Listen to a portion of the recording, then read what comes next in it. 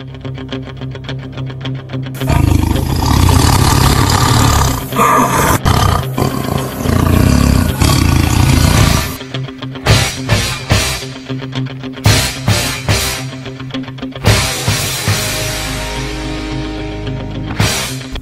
and welcome to Tiger Art. Today we'll be looking at portraits. First, what is a portrait?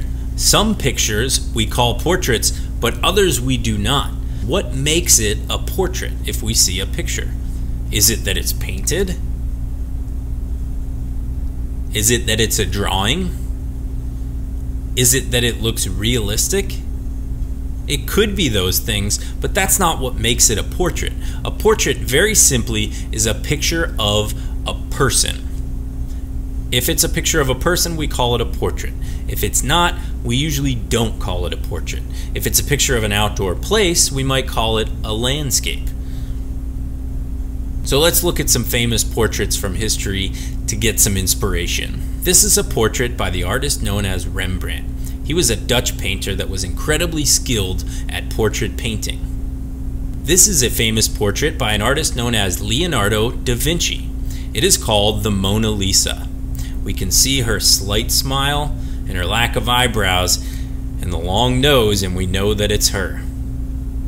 Capturing the characteristics of a person is an important part of portrait drawing and painting. This is a self portrait by the famous artist Frida Kahlo. You may have seen her cameo in the movie Coco. Frida Kahlo is known for her honesty in her portraits. She portrayed herself as she really was. She didn't want to romanticize and make herself look more beautiful than she really was in real life. She showed herself as she truly is, flaws and all.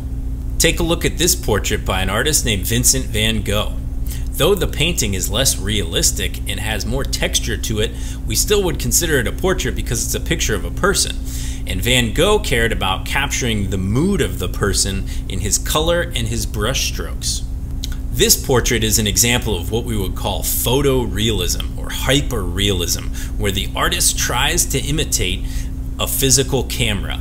So he takes he or she takes every possible step to make sure that his painting looks as realistic as possible so that it's indistinguishable from a photograph. So today if we're going to make a portrait, we need to look at a person and we need to figure out how to draw their entire body in correct proportions is what we would call it. Proportions means like how big is the head compared to the shoulders or compared to the the body or compared to one leg compared to an arm. So sizes of one thing compared to another.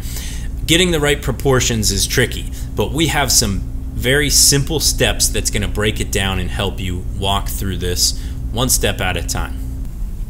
To make this self-portrait, I have given you a piece of white paper that has a piece of black paper stapled to it. This will be helpful and it will add another feature to this project when we're all done. So you'll use that paper for this. If for some reason you lose this or it gets destroyed, you could use any piece of paper, but this will just make some things easier for you. Make it going up and down, not side to side. When you look at it this way, you'll see three sections, a top section, a middle, and a bottom. We're going to use those folded lines as a way to guide us on measuring the person out from top to bottom.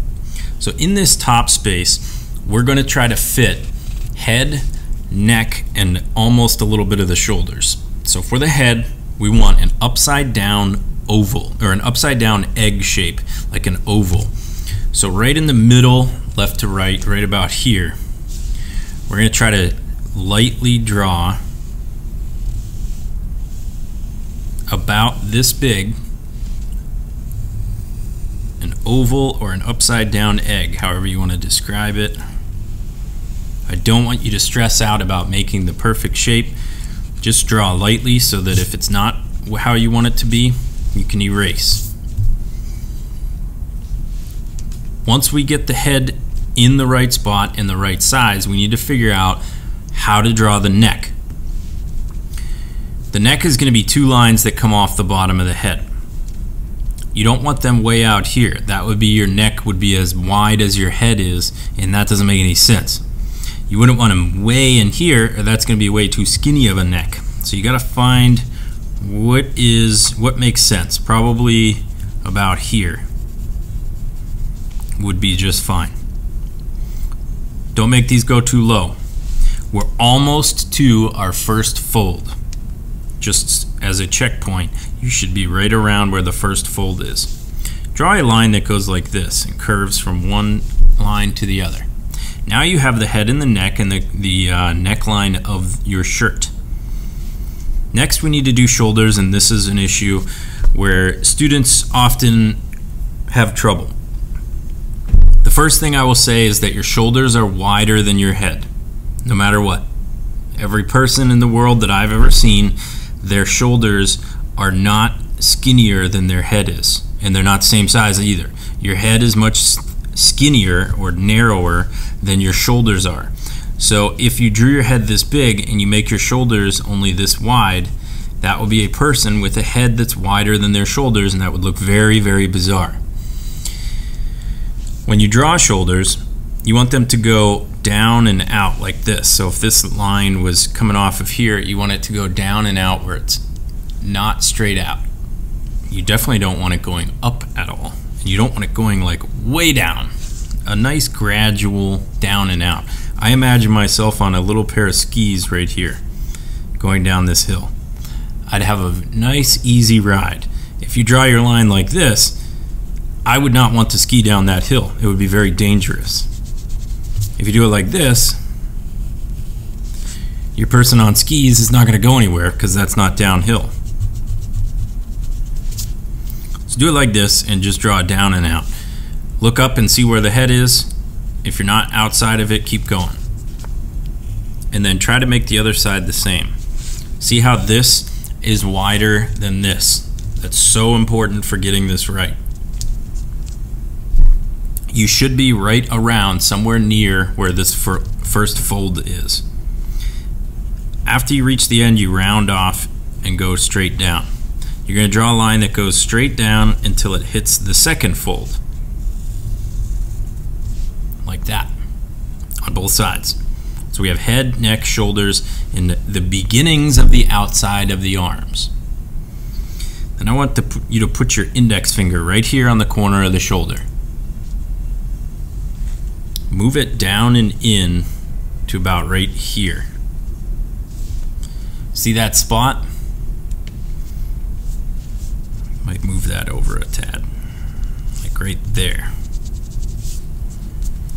That spot is where you'll start drawing another line. So this line will start right there and we'll go straight down and you will almost touch the bottom of your paper. Very close. So you've gone past the second fold where that was. I'm going to do the same thing on the other side. Start here, come in a little bit. So I start about right there.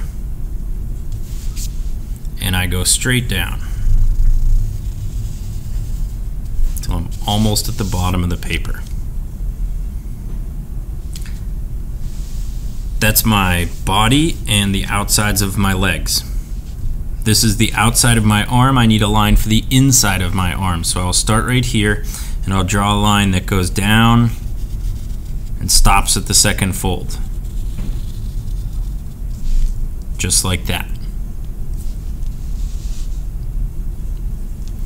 Now my legs are connected and that looks strange. So come over a little bit towards the center and make a dot. Come over a little bit towards the center and make a dot. These two spots are where your line will start and end. You need to draw from one spot up to the fold and then down to the other spot. It's like a big, tall, skinny teepee. Then I connect this pant leg bottom and this pant leg bottom. I can draw a shoe on each side now.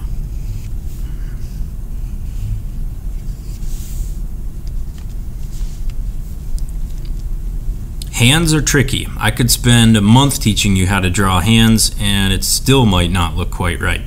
We're not going to waste our time making this a hand drawing competition.